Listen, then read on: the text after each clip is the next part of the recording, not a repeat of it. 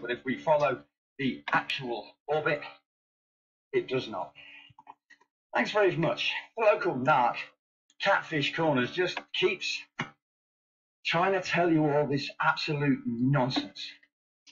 Three pictures all in a row, and I made it look like it was rolling, but then I explained it isn't because you're looking at it wrong.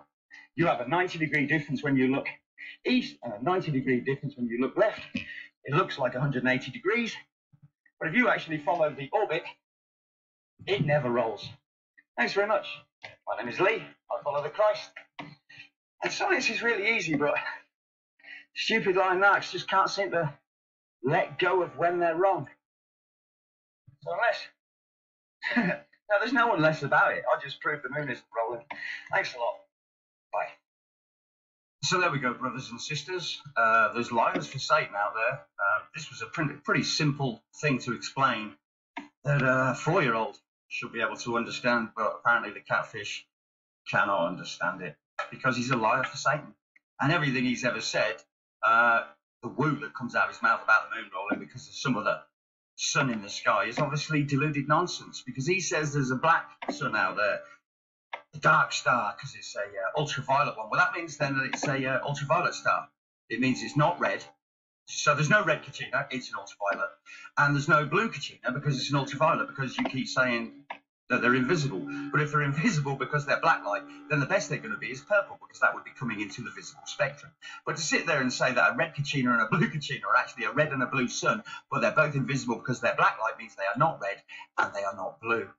I just thought I'd throw that in because you're twisted, confused nonsense telling people about there's a red sun in the sky and a blue sun in the sky, and yet then you say that it's a black light means it's not red and it's not blue because those are light spectrums whereas the UV light is invisible to human eyes. So you saying it's invisible, but then saying it's a red star and a blue star contradicts everything you say. Everything you say is pure nonsense. And I hope everybody realizes that. Okay, so there we go. I put three pictures in a straight line. I made it look like it was rotating by looking at it wrong, by changing the angle of my viewing.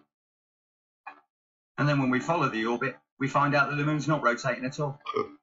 Thanks very much. I do hope that people understand right from wrong, lies from truth, and fact from fiction after this video. I'm sure they will. Oh shit. I wasn't going to say a word. I didn't have to. He said enough. This took me five minutes to look for, or less. I don't know. That's probably. I mean, it was less than five minutes. I had this. See the level of research he does versus simple like two and this game. Hmm. Ultraviolet, blue sun. I'm sorry, it's a blue star. Maybe that's the problem. Semantics. Is that it? I don't think so. I think you're a fucking narcissist.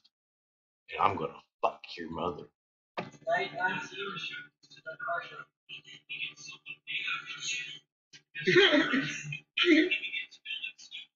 Promise. Yo.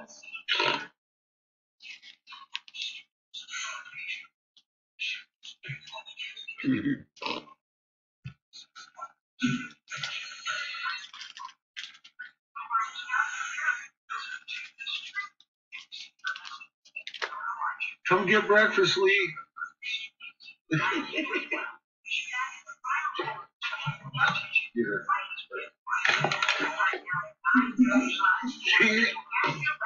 Oh, oh hi, Mom.